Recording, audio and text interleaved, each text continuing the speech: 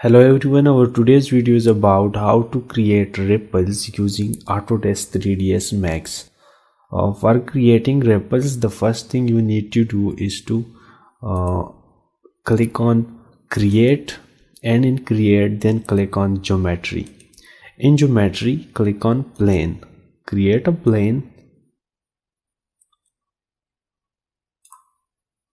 Now adjust the location of the plane now click on modify and in modify uh, increase the length and width segments. I will increase the length and width segments to 60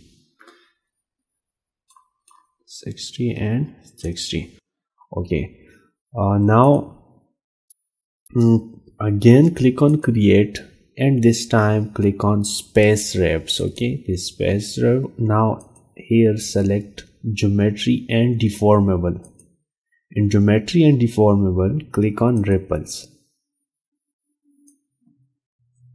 Create these ripples. Uh, you can adjust the amplitude and the length of phase and decay from this uh, uh, parameters. Now click on this bind to space wrap click here and drag this to this object now here you see we have created these uh, ripples in this object. Now click on modify and in modify decrease the length wavelength okay? Or decrease the amplitude. Amplitude is one is enough.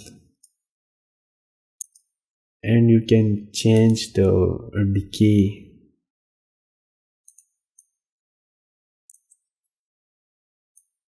now here you see we have created these uh, ripples. Now we will animate these ripples okay?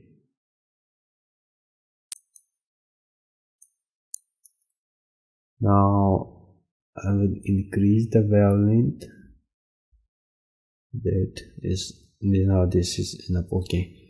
Uh, and this is decay if you want to the wavelength to be stronger stronger waves in the middle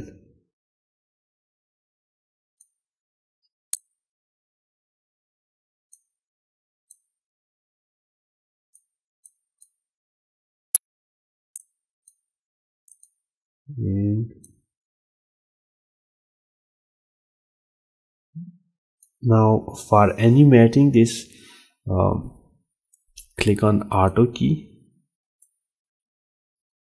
Drag this to 100 and now change the phase. I will change the phase to uh, minus 2.4 and i will also change the decay okay? I will increase the decay that's it. Now quickly these are the ripples we have created uh, using Autodesk or 3ds Max okay? That's it. Thank you for watching and don't forget to subscribe. Easy for more videos. Thank you